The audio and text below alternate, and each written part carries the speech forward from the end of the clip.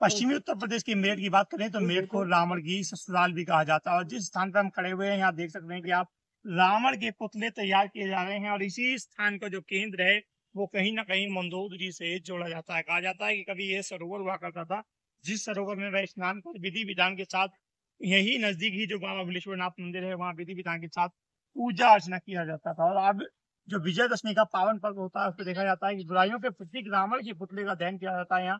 बड़े बड़े रावण के पुतले भी बनाए जा रहे हैं।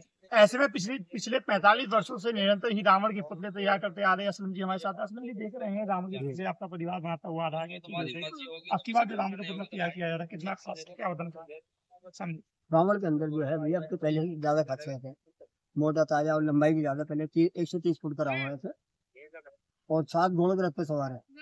और अच्छी खूबी मतलब अंदर दिखाई गई और क्या खास रहेगा आपकी बार कुछ वह और जैसे इसके अंदर जो लगेंगे गोले अनार।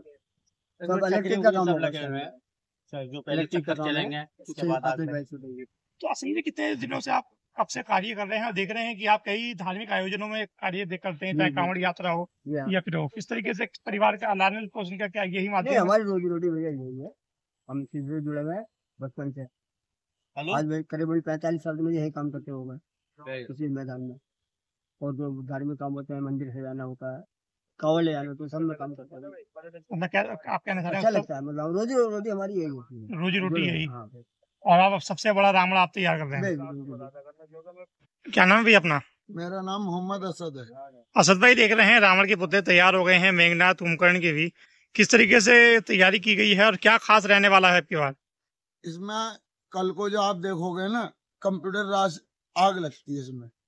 तो ये पहली बार हो रहा है ऐसा? जी। ये हमने अपना एक अनपढ़ वाला सिस्टम बनाया। नहीं है? कंप्यूटर द्वारा आग लगेगी इसे ठीक है जी। दबाएँगे और वो कंप्यूटर द्वारा आग लगेगी क्या नाम है भाई साहब आपका? मेरा नाम दिनेश हैरन है। दिनेश जी देख रहे हैं रावण के पुतले तैयार किए जा रहे हैं और जो इसी स्थान है इसका भी काफ़ी ऐतिहासिक महत्व माना जाता है। ऐसे में आपकी बार जो रावण दहन होने वाला है किस तरीके से है क्या कोई नई थीम भी रखी गई है? नहीं वही सभी स्कीम है यहाँ पर ये एक सौ तीस फुट का रावण है जो पूरे हिंदुस्तान में कहीं उगता इतना इतना ऊँचा। और क्या खास बनाया जा रहा है आपके पास रावण को लेकर रावण में अब की बार वस्त्र लगाए जा रहे हैं अलग से। तो क्या मूवमेंट करता हुआ भी दिखाई देगा करता दिखाई देगा। मुँह चलेगा इसका। तो मतलब आप कहना चाह रहे हैं कि देश का सबसे ऊँचा रावण यहीं चलेगा? हाँ जी। और कौन कौन से इसके जो अलग अलग पुतले हैं उनकी क्या हाइट रखी गई है? भाई एक एक सौ दस का है फिर उसके बाद में अपना अस्सी फुट का है। तो ऐसा कह सकते हैं कि ये काफ़ी अच्छा संदेश है क्योंकि अगर हम वैष्णवी की बात करें तो रावण की ससुराल कहा जाता है जो यहाँ पर बुराइयों के प्रति रावण के पुतले को तैयार किया जा रहा है वो भी उत्तर प्रदेश में सबसे बड़ा है। लोकलिटी मेरे से विशाल भटनागर जी।